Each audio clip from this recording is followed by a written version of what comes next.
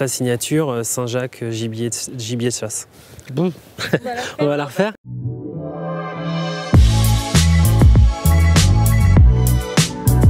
Grand moment de cuisine, les tout premiers pas que j'ai pu faire en cuisine, j'avais 15 ans euh, avec Guillaume Louet, euh, le premier première veste de cuisine sur, euh, sur le dos et le plus grand moment.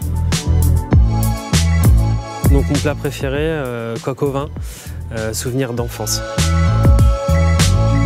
donc la plus belle bourde, euh, 15 ans, je fais mon premier navarin d'agneau, le chef me dit saute, euh, saute les morceaux d'agneau, ce que je fais à la poêle, donc pas de problème. Et, euh, en fait, je prends les poils et je les lave directement dans la, plonge. Donc forcément, le chef hurle et me dit mais tu viens de, saccager tout le travail que tu viens de faire. Tu, viens de jeter les sucres de cuisson dans la plonge. Voilà, enfin la belle bourde quoi.